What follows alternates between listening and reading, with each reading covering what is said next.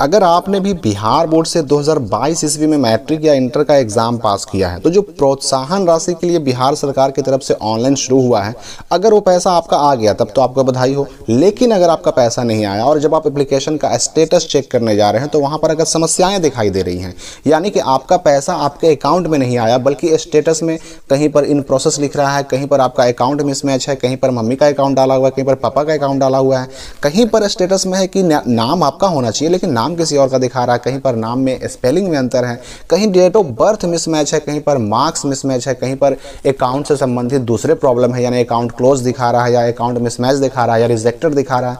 तो ये सारी समस्याओं की वजह से अगर पैसा आपका अभी तक नहीं आया है तो आपको इस वीडियो में इस बात के लिए बिल्कुल निश्चिंत मैं कर दूँगा कि आपको पैसा 100% मिलेगा। और कैसे मिलेगा, क्या करना होगा, उसकी भी चर्चा हम करने वाले हैं इस वीडियो में। क्योंकि इस संबंध में बिहार के शिक्षा विभाग ने एक सूचना निकाली है, एक नोटिफिकेशन निकाला है और उस नोटिफिकेशन में जो बातें कही गई है, उनसे आपका सारा टेंशन, पैसा मिलने को लेकर के, प्रोत्साहन राशि मिलने को लेकर के मैट्रिक इंटर पास स्कॉलरशिप मिलने को लेकर के आपका सारा समस्या, सारा जो कन्फ्यूज़न है दूर हो जाएगा। तो सबसे पहले तो इसके लिए हम गूगल में सर्च करेंगे स्कालेट स्टडी और हमारे सामने जो सबसे ऊपर रिज़ल्ट आएगा इसको हम ओपन कर लेंगे क्लिक करके।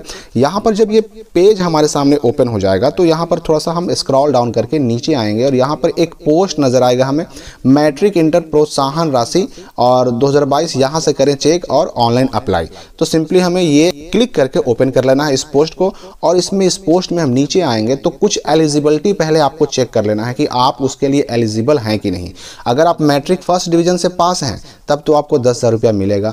मैट्रिक सेकंड डिवीज़न से हैं और एस सी कैटेगरी के भी हैं, तब तो आपको आठ हज़ार रुपया मिलेगा। इंटर पास हैं और छात्राएँ हैं, तब तो आपको पच्चीस हज़ार मिलेगा। लेकिन याद रखिएगा कि इंटर पास अगर छात्र हैं, लड़का है तो आपको कुछ भी नहीं मिलेगा। और अगर आप लड़की हैं, छात्रा हैं तो चाहे फ़र्स्ट हो, सेकंड हो, थर्ड हो, या फिर एससी हो एसटी हो, जनरल हो, बीसी वन हो बीसीटी हो, आपको पच्चीस हज़ार रुपया मिलेगा ही मिलेगा। तो ये पहले एलिजिबिलिटी आपको देख लेना है कि आप इसमें फिट होते हैं कि नहीं। अगर फिट होते हैं, आपका स्टेटस में कहीं प्रॉब्लम दिख रहा तो मैं आपको उसका समाधान बताऊँगा इस वीडियो के आगे।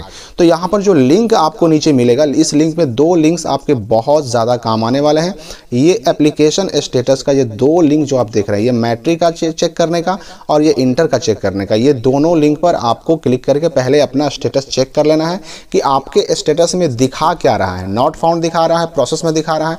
अगर प्रोसेस में दिखा रहा है और अगर सब कुछ वेरिफिकेशन हो रहा है या फिर इनिशिएटेड लिख दिया इनिशिएटेड मतलब होता है कि शुरू हो गया वेरिफिकेशन तो आपको कुछ भी नहीं करना है, चुपचाप इंतज़ार करना है। लेकिन अगर अकाउंट से संबंधित कोई दिक्कत है मिसमैच कुछ हो रहा है, चाहे मार्क्स हो डेट ऑफ़ बर्थ हो, नाम हो, पिता का नाम हो, या फिर स्पेलिंग हो, अगर ये मिसमैच हो रहा है तो क्या करना होगा? उसकी हम चर्चा आगे करेंगे।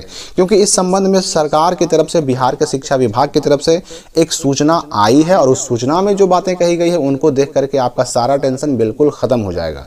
तो अब हम चलते हैं स्टेटस तो आपने चेक कर लिया स्टेटस आप चेक करना जान चुके हैं। स्टेटस चेक करने के बाद जो समस्याएँ हैं, उनका समाधान जानते हैं और समाधान जानने के लिए आपको हम दिखाते हैं वो नोटिफिकेशन तो बिहार के शिक्षा विभाग की तरफ़ से जो ये कन्या उत्थान योजना को लेकर के, प्रोत्साहन राशि को लेकर के जो ये नोटिफिकेशन जारी किया गया, सूचना जारी की गई, इसमें है क्या? तो पहली बात तो आपको ये समझ लेना है कि 2021 और 22 अगर दोनों साल में पास करने वाले छात्र अभी तक अगर पैसा उनको नहीं मिला है तो दोनों को पैसा मिलेगा। 22 के बारे में तो आप पहले से भी जान रहे हैं, लेकिन अगर आप 21 में पास किए हैं और अभी तक आपको पैसा नहीं मिला है तो आप भी अप्लाई कर सकते हैं इक्कीस वाले भी। अगर इस सूचना की हम माने तो इसमें यह बात भी कहा गया कि इक्कीस में पास करने वाले भी पैसा ले सकते हैं, अगर उनको ना मिला है तो। आगे इस देखिए सूचना में एक बहुत खास बात है, जिसको जान करके आपका सारा टेंशन खत्म हो जाएगा। एक बात मैं आपको बता दूँ कि याद रखिए कि शिक्षा विभाग क्या करता है कि बिहार बोर्ड से पास करने वाले सारे बच्चों का डेटा मंगा लेता है कि हाँ भाई 2022 में कितने छात्रों ने पास किया, फ़र्स्ट कितने हैं, सेकंड कितने हैं, लड़कियाँ कितनी हैं इंटर में। उनका संख्या के हिसाब से 25 जैसे आप लड़कियों की बात करें हम इंटर में तो इंटर में जितनी लड़कियाँ 2022 में पास की, उस संख्या को पच्चीस से गुना करके शिक्षा विभाग ने उतना पैसा अलॉट कर दिया लड़कियों को देने के लिए। और उसी प्रकार से मैट्रिक में जितने छात्र छात्राओं ने फ़र्स्ट डिवीज़न से मैट्रिक पास किया, उस संख्या को दस हज़ार में गुना कर दिया गया और उतना पैसा अलॉट कर दिया गया। मतलब ये हुआ कि अगर आप एलिजिबल हैं तो आपके नाम से पैसा अलॉट हो चुका है। पैसा आपके नाम से जारी हो चुका है। आज मिले, कल मिले, साल भर बाद मिले, दो साल बाद मिले, लेकिन आप उसको लेने के लिए पात्र हैं, कभी भी आप उसको ले सकते हैं। जब आपका सारा डिटेल सही सही विभाग के पास पहुँच जाएगा, आपको ये प्रोत्साहन राशि आपके अकाउंट में मिल जाएगी। यहाँ पर देखिए, इस बात को बहुत ध्यान से आपको देखना है कि जो 2021 में पास हैं और उनको नहीं मिला है तो उनको तो दस ही मिलेगा, क्योंकि 2021 के नियम के हिसाब से दस ही मिलना था, लेकिन जो 2022 में पास है, उनको, यानी कि इंटर के पास लड़कियों को पच्चीस मिलेगा। अब यहाँ पर मैट्रिक और इंटर दोनों की समस्याओं का समाधान कहाँ पर है? यहाँ आपको विशेष रूप से ध्यान देना है। कि अगर ऑनलाइन आपने किया हो, चाहे विभाग ने ऑनलाइन किया हो, डिटेल जो गलत है, यानी सूचनाएँ अगर उसमें गलत हैं, गलत किसी तरह से भी अंकित हो जाए, चाहे आपसे गलती हो, चाहे विभाग से गलती हो गलती हो जाने की स्थिति में निबंधन, यानी कि रजिस्ट्रेशन जो है ऑटोमेटिक हो जाएगा रद्द। और छात्र या छात्रा को पुनः निबंधन कराने का, यानी रजिस्ट्रेशन कराने का, ऑनलाइन कराने का मौका मिलेगा।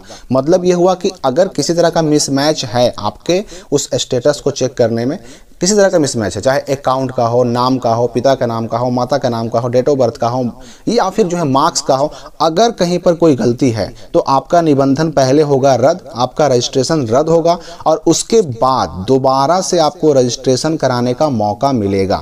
और यही नहीं, अगर रद्द होता है और आपका मोबाइल नंबर भी अगर सही सही उसमें डाला हुआ है तो रद्द होने की सूचना आपको मैसेज के ज़रिए भी मिलेगी। और जैसे ही आपका एप्लीकेशन रद्द होगा, दोबारा से आप ऑनलाइन कर सकते हैं। और जैसे ही सही सही सूचनाओं के अनुसार आप दोबारा ऑनलाइन करेंगे, आपका पैसा आपके अकाउंट में प्रोत्साहन राशि का आ जाएगा। मतलब ये हुआ कि आपके नाम से पैसा अलॉट हो चुका है। ये बात मैंने पहले भी कहा कि पैसा जब आपके नाम से अलॉट हो चुका है तो चाहे वो पैसा आज मिले, आज से पाँच महीने के बाद मिले, दस महीने के बाद मिले, मिलना तो आपको है ही। वो पैसा वापस जाएगा नहीं। वो आपको मिलेगा ही। आप कभी भी उस पैसे को प्राप्त कर सकते हैं, लेकिन आपको प्रयास करना है कि ये स्टेटस चेक करते रहें। जैसे ही रिजेक्ट हो, आपको मौका दो दोबारा ज़रूर मिलेगा रजिस्ट्रेशन करने का, यानी ऑनलाइन करने का। और ऑनलाइन करने के बाद जो डिटेल आपका सही सही है, जो आपके मार्कशीट के हिसाब से है, जो आपके रजिस्ट्रेशन के हिसाब से है, वो डिटेल डालें, दोबारा से निबंधन, यानी कि रजिस्ट्रेशन कराएँ, और उसके बाद जब सत्यापन, यानी वेरिफिकेशन कंप्लीट हो जाएगा तो आपको यूज़र आईडी और पासवर्ड मिल जाएगा, और अब फिर दोबारा से अपने फॉर्म को सबमिट करें, और इसके बाद आपके अकाउंट में प्रोत्साहन राशि मैट्रिक इंटर का पैसा आ जाएगा। तो ये बात मैं आपको स्पष्ट कह रहा हूँ कि जिनके भी फॉर्म के स्टेटस में जो भी समस्याएँ आज दिखाई दे रही हैं वो समस्याएँ अपने आप खत्म होंगी। या तो आपका पैसा आएगा या फिर आपका फॉर्म रिजेक्ट होगा। पैसा आ गया, तब तो अच्छी बात है। और अगर फॉर्म रिजेक्ट हो गया तो आपको दोबारा ऑनलाइन करने का मौका मिलेगा। हंड्रेड परसेंट मिलेगा। और दोबारा ऑनलाइन करने के बाद आप जब सही सही ऑनलाइन करेंगे तो ज़ाहिर सी बात है कि आपका पैसा भी हंड्रेड परसेंट आ ही जाएगा। तो चाहे तो वेरिफिकेशन कंप्लीट होने का इंतज़ार करें, और अगर वेरिफिकेशन कंप्लीट हुआ तो पैसा आएगा, और वेरिफिकेशन अगर कंप्लीट नहीं हुआ तो फॉर्म रिजेक्ट होगा, और रिजेक्ट होगा तो दोबारा से ऑनलाइन करने का मौका मिलेगा। चाहे आपके फॉर्म में समस्या कोई भी क्यों ना हो। तो इसलिए इस बात के लिए निश्चिंत रहें कि पैसा आपको मिलेगा ज़रूर, बस आपको स्टेटस चेक करते रहना है, वही जो लिंक मैंने बताया, वहाँ से आपको स्टेटस चेक करते रहना है। अगर रिजेक्ट होता है तो दोबारा से ऑनलाइन करने का प्रयास करना है। तो फ़िलहाल इस वीडियो के लिए इतना ही, मिलते हैं अगली वीडियो में एक नई जानकारी के साथ।